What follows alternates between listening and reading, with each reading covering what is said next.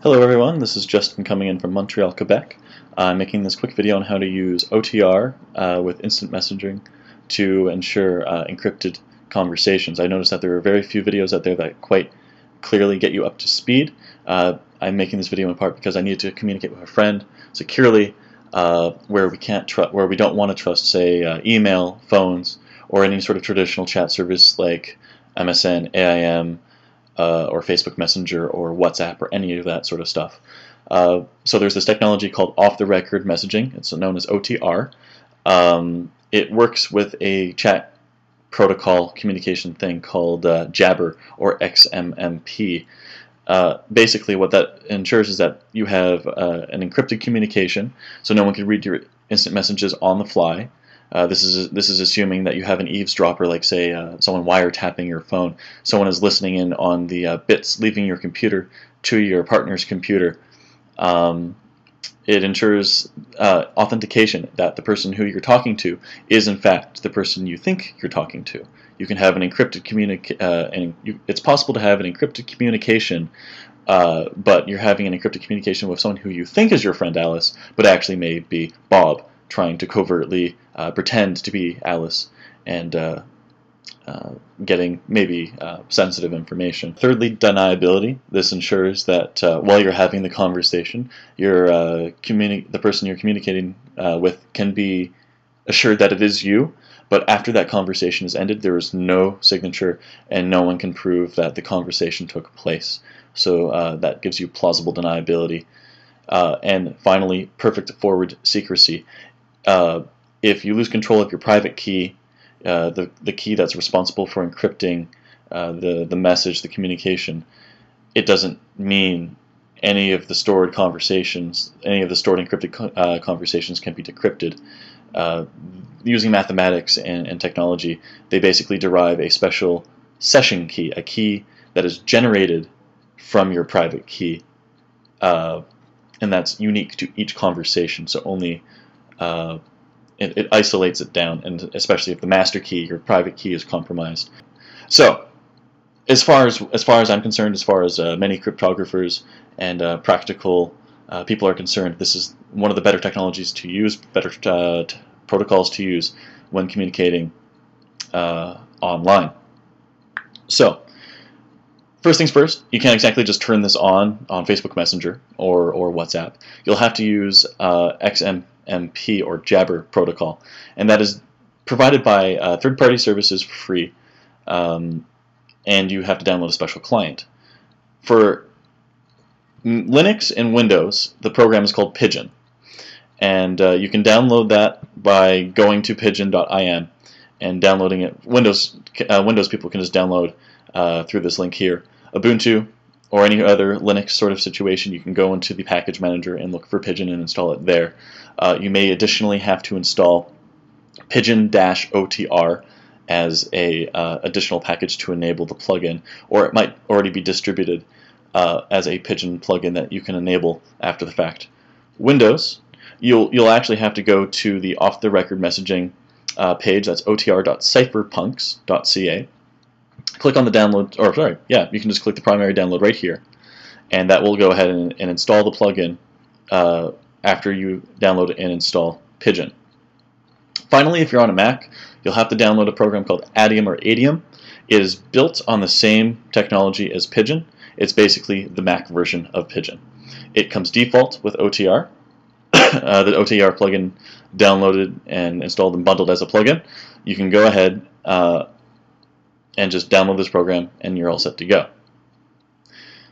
Now, I'll show you how to uh, set up for a Mac. Uh, in future videos, I'll make a quick one for Windows and a quick one for Linux, but unfortunately I don't have access to those machines right now, and you'll just have to see me do it for Adium. When you download and install Adium, you will be presented with a very simple program, or a very simple window, or uh, in fact I believe a wizard. And it will ask you to create an account. Uh, what you'll want to do is you want to create an account for XMPP. I realize I've been saying XMMP. It's XMPP the whole time. Um, and you'll have to enter in a provider. Now, there's one provider that a lot of uh, security-sensitive people use, and that is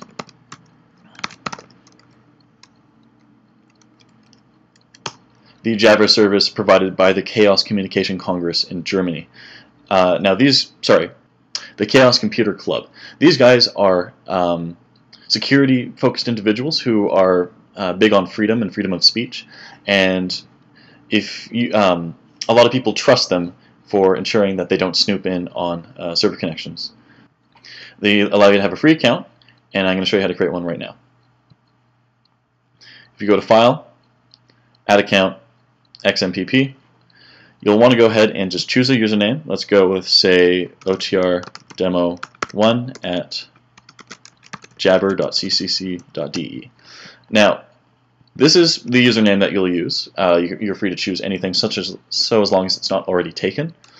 By entering in this part of the address, the at jabber.ccc.de part, it will automatically try and register with their service. And you'll go ahead and click this button here, and it will start that off. Correction, you'll have to type it one more time here at jabber.ccc.de. Request new account.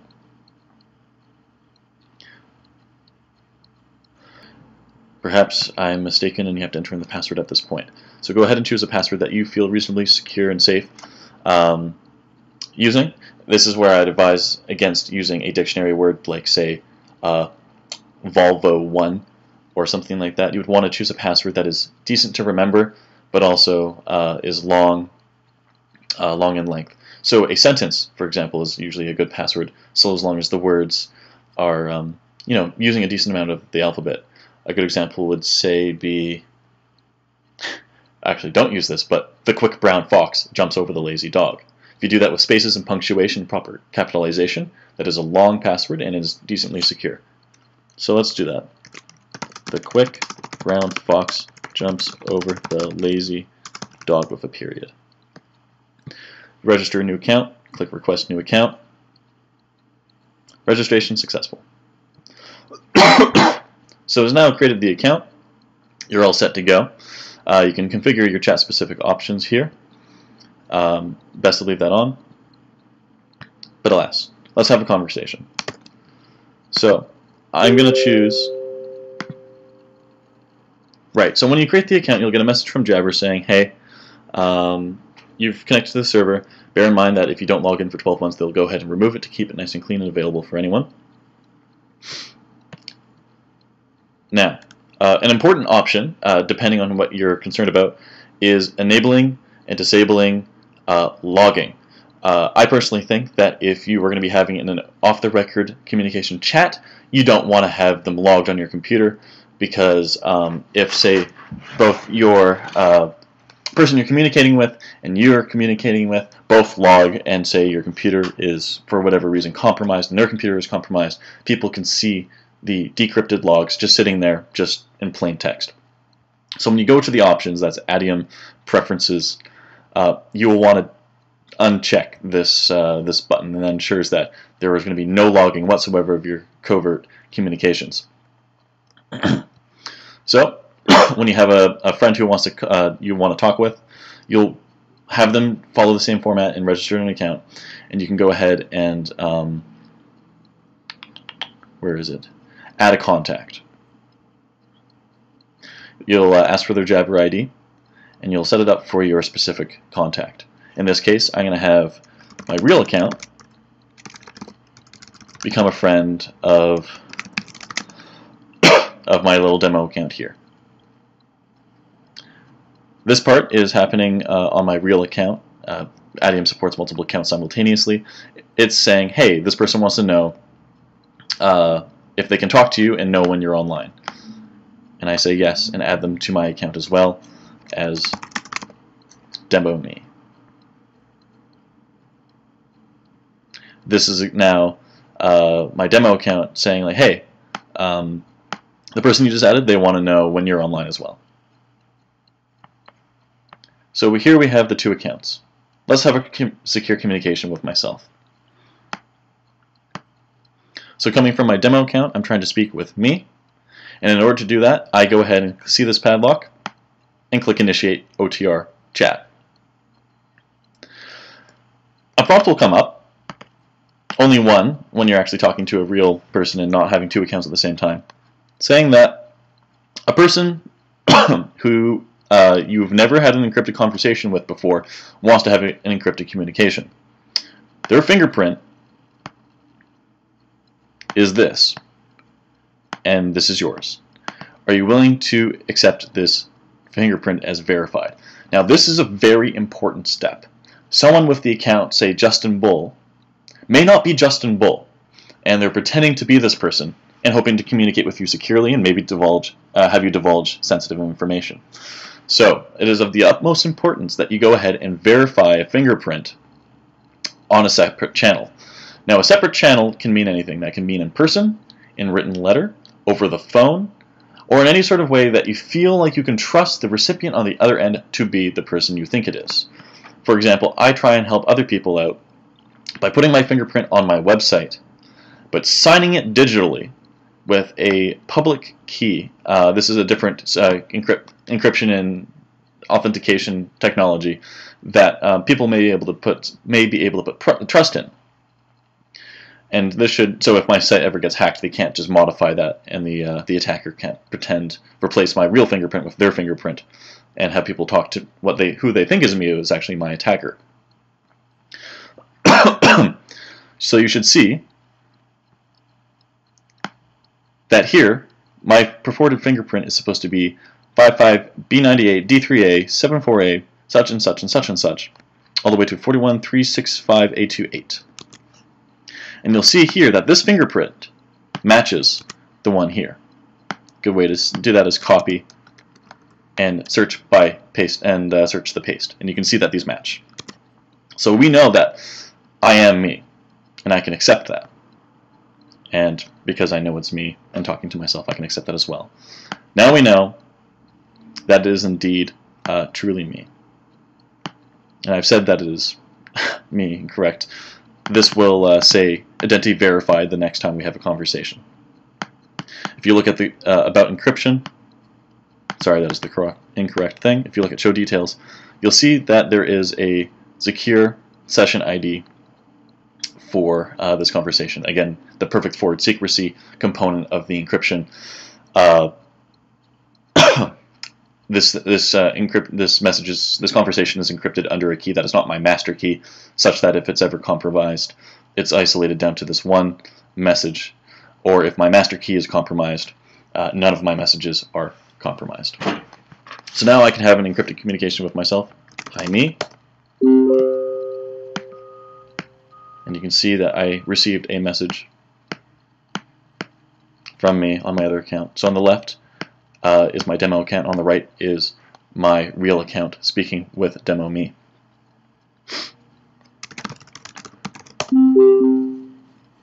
And it, you can reasonably trust this to be a off-the-record communication.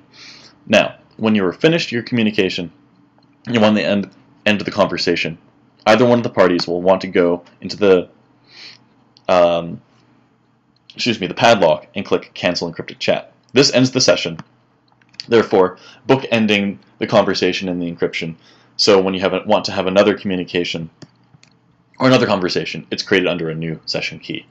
That's an important part that I think a lot of people forget because maybe they keep these windows open um, and just hibernate their computer a lot, and these things can re remain open in clear text.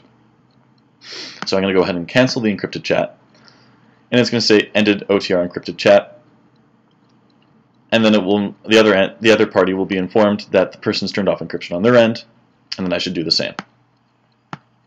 Voila. You are now talking in plain text. That is how you have a secure, uh, secure communication, and uh, hope that helps. One consideration that you may want to uh, think about that this does not secure the um, does not secure uh, both computers. So if, if one of the computers is compromised, uh, this will not protect you against that threat model. This is against people who are concerned about eavesdropping or wiretapping or of that similar uh, ilk. Or, better yet, uh, concerned about the person, uh, they want to know the person who they're talking to is in fact that person. A good way to do this, uh, especially if you can't get a secure channel, is that when you encrypt when you initiate the encryption, you can ask the person a personal question that only one of you would know, like saying, "Where, what did I pass you? What did I lend you that one time we met?" You want to avoid something very uh, generic, like when was the first time we met, or what year what's the name of my dog? Because anyone, and especially a clever attacker, can try and research that information and get back to you. So it's something, a shared secret that you think only your friend would ever know, or the person you're communicating, communicating with would only ever know. Again, uh, future videos will include, or future videos will cover Windows and uh, Linux. But right now, this is how you do it for Macintosh.